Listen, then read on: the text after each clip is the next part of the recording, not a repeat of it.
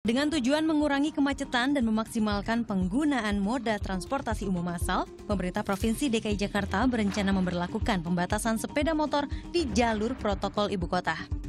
Uji coba awalnya dimulai Senin 12 September atau awal pekan depan.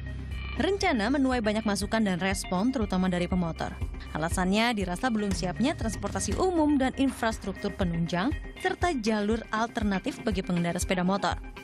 Pemerintah Provinsi DKI akhirnya menunda uji coba dan akan mengkaji kembali kebijakan ini.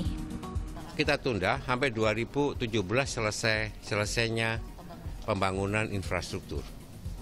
Baik flyover maupun underpass dan beberapa stasiun yang sudah terbangun oleh MRT. Baru fair gitu ya. Sebelumnya, pembatasan sepeda motor rencananya akan diberlakukan di ruas Jalan Jerman dan sepanjang Bundaran Hotel Indonesia Bundaran Senayan.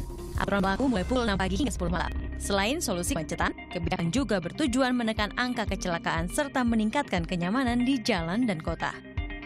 Chelsea Verhoeven, Evan Irawan melaporkan untuk NET.